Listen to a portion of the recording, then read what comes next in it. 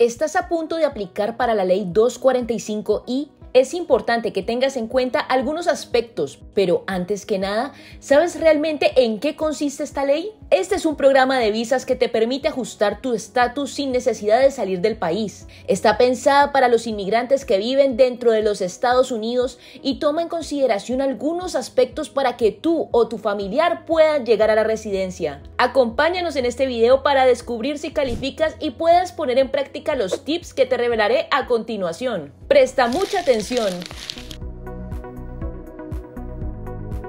1.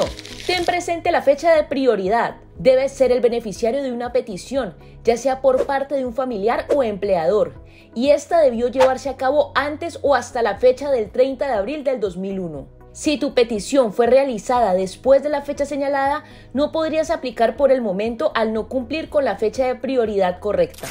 2.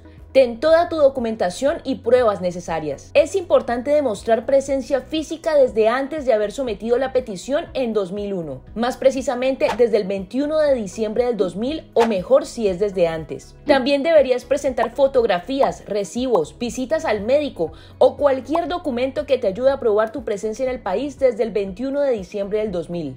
Pero no te preocupes, si no tienes pruebas de esa fecha en específico, puedes presentar documentación de fechas anteriores. Lo importante es que no sea después del tiempo exigido.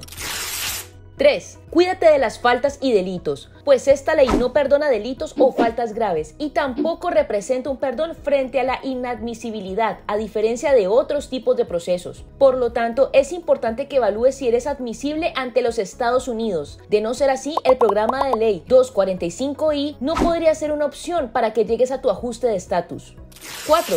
Recuerda a tus familiares inmediatos. Algo positivo que representa esta ley es que no solo tú calificas para el ajuste de estatus, sino también tus familiares inmediatos pueden entrar en tu proceso. Pero aplica si al momento en que realizaron la petición por ti en el 2001 tenías hijos menores de edad. Ellos también califican en tu aplicación de la 245i, aunque en ese momento la petición no haya sido para ellos. 5.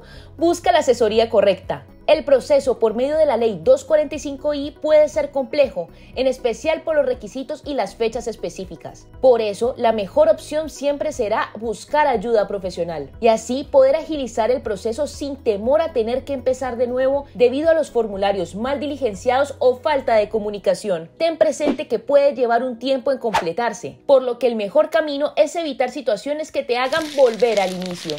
¿Consideras que esta información te fue útil? Si es así, compártela con tus familiares y amigos. Y recuerda, si necesitas una mano con este u otro tipo de petición, puedes contactarnos. Somos abogados de inmigración dispuestos a hacer todo lo posible para ayudarte en tu proceso migratorio. Nos despedimos y esperamos que este video de 5 tips para aplicar a la ley 245i te sea de mucha ayuda. No olvides darle like y dejar tu comentario sobre las recomendaciones que te gustaría tener de otros temas migratorios. Nos vemos en una próxima ocasión para seguir entendiendo lo fácil.